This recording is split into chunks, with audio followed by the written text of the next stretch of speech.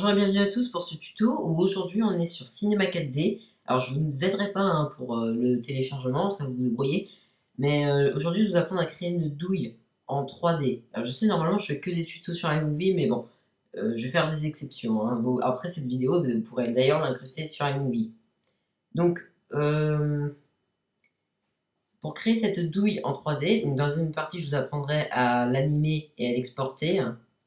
Donc pour pouvoir créer une douille en 3D, euh, vous allez devoir aller sur cette petite icône qui est ici, vous cliquez dessus, et là vous allez avoir 4 4 qui apparaissent. Vous allez choisir celui avant, et vous cliquez sur le même bouton. Voilà, donc là vous devriez voir ça. Puis vous cliquez sur cette icône qui est ici, et vous allez choisir B-Spline. Et à partir de là, vous allez essayer de reproduire le même dessin que je suis euh, en train de faire. Vous cliquez sur l'intersection qui est là, sur un carreau de décalage après. Voilà. Après, si le point ne marche pas, bon voilà, on replace. Voilà, essayez de faire au mieux la même chose que moi. Voilà. Donc là, on, est en, quelque sorte en train de dessiner une demi-douille. une douille coupée en deux.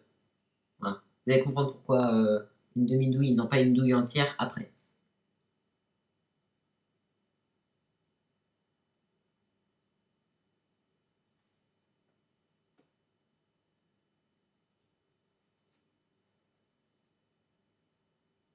Donc,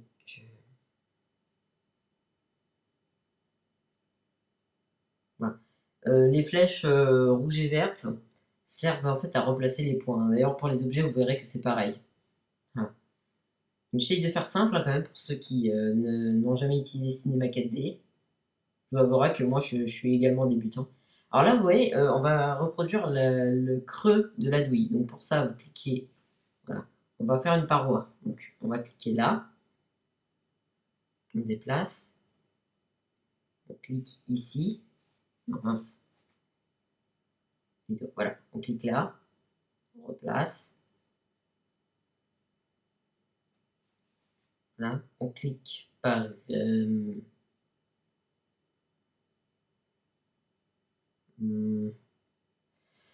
ouais, ici. Voilà. Euh, ouais. Voilà, comme ceci. Voilà, donc quand vous avez fini, normalement, voilà, vous devriez obtenir ça. Une sorte de cuvette de toilette, on peut dire. Voilà. Vous allez reprendre votre curseur. Vous allez reprendre la fenêtre en vue perspective. Et là, vous allez cliquer sur l'icône qui ressemble à une sorte de cube vert. Hein, et vous sélectionnez Révolution.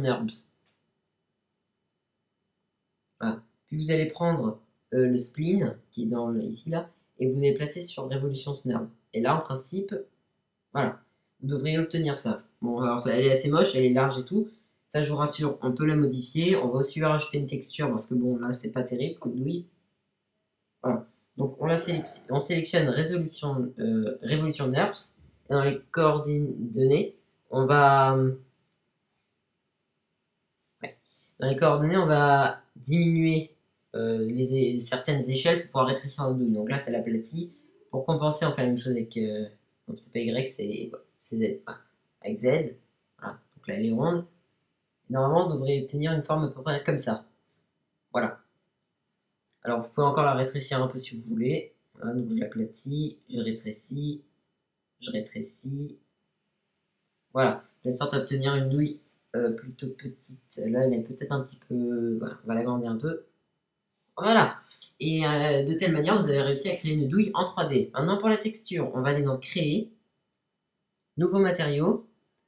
Et là, vous allez... Euh, donc euh, dans le mode, dans spécularité, vous allez prendre métal, puis vous allez dans les couleurs, euh, couleurs, vous cliquez sur le petit carré blanc qui est là, vous sélectionnez une couleur un peu orangée dans la bande, et vous prenez la petite croix qui est sur le plateau, voilà, vous le mettez là. Ok. Et vous appliquez ça sur votre douille. Et voilà. Donc là, vous avez euh, une douille, alors je vais vous montrer, voilà, sous forme cinématique. Voilà. Dans le rendu, ça donnera ça.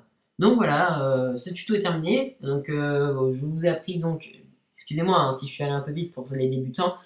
Voilà, euh, vous, je essaierai de faire moins vite dans la prochaine vidéo. Donc on a créé une douille en 3D et donc à bientôt pour la partie 2.